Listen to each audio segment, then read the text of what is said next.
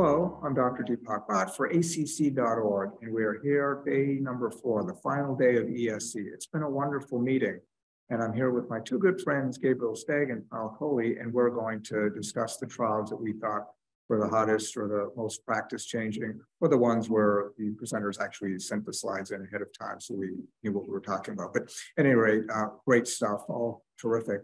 Let me start off with the ischemia CKD extend trial. I was the discussant for that trial that Sripal Bangalore presented.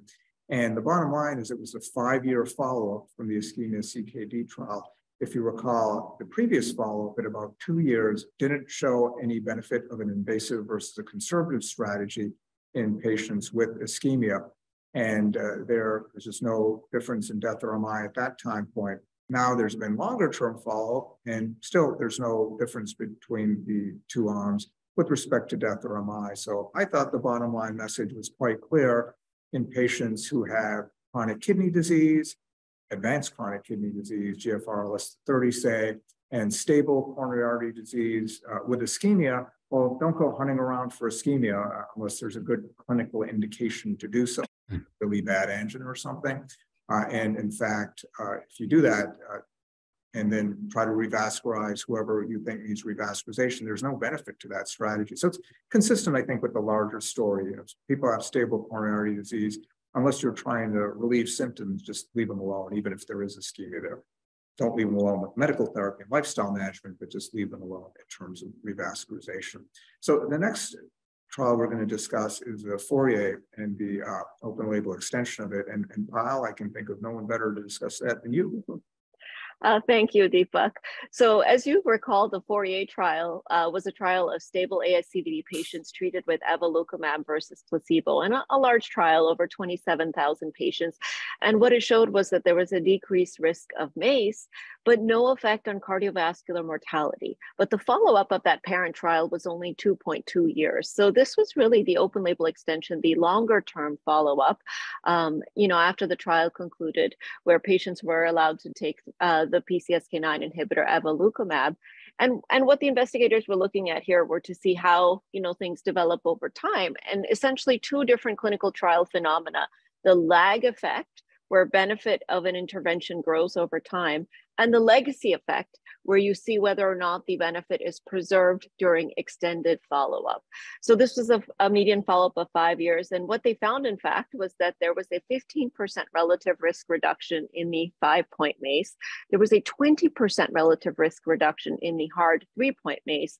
And of that, there was a 23% relative risk reduction in cardiovascular death. So, that mortality benefit did end up emerging with this median follow-up of five years. And really does tell us that sometimes you know when we only follow trials for a short period of time and the first things that we see modify are really the mis and you know the plaque and the revascularization. And sometimes it takes many years before that survival benefit declares itself.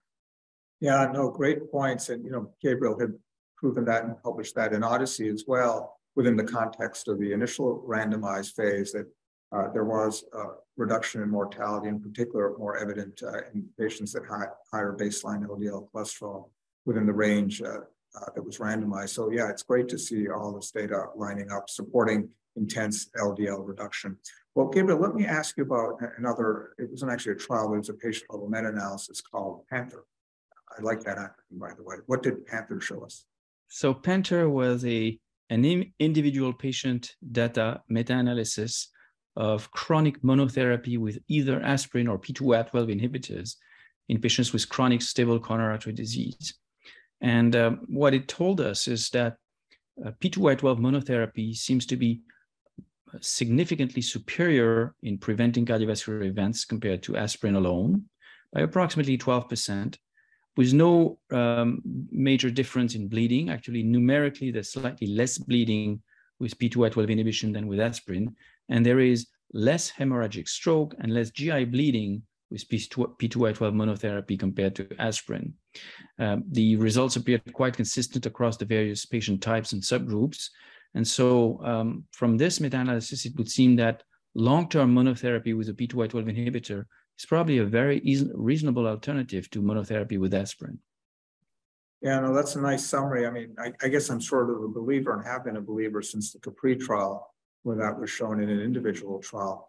I think clopidogrel was superior to aspirin in high-risk secondary prevention. Well, you know, let me turn to each of you, Payal. Let me start with you first, just for what you think the biggest stories, not of today, these were three great studies from today, but from the overall meeting. And it, has been a terrific meeting. It's hard to just pick one, I know, but Payal, what do you think is the most practice-changing trial you've heard here?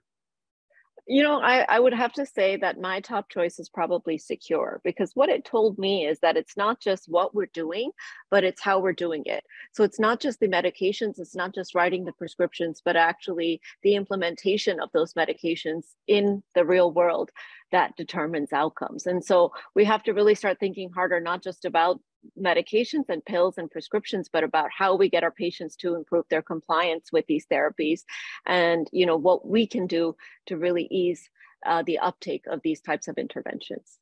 Yeah, no, uh, great thoughts. Uh, Gabriel, which trial would you pick as the most practice changing?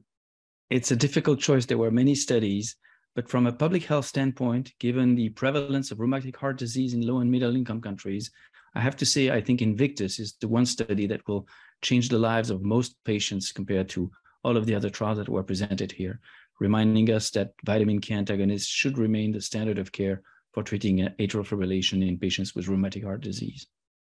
Yeah, no, that's terrific. I, I, likewise, it's hard to pick one. There were so many trials, so much discussion about different trials, but I'm sort of like I, I would have picked Secure as the one that has the potential to change the, the lives of the most patients worldwide. I think the impact on global health could be really enormous, not just in places like Europe and, in the United States, but really all over the world, uh, including Europe and the United States, and, and, a lot of important messages there. But she already nicely summarized that. Well, you know, it's been wonderful uh, recapping the different uh, ESC days uh, trials with the two of you uh, trials and some other studies as well. And uh, it's been a lot of fun. Hopefully the two of you have enjoyed it. Hopefully our audience has enjoyed it. I know for those of you that are stuck at home, can sometimes be uh, sort of uh, tough keeping up with everything that's going on. So hopefully we've helped do that. And for those of you that are at the trial but couldn't really attend all the sessions you want to, hopefully that's a good recap for you too.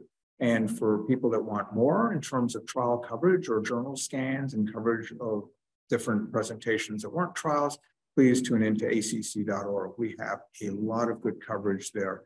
Trial summaries, slide sets, journal scans, news stories, uh, just lots of good stuff that hopefully gives you a flavor of the excitement at this really wonderful meeting.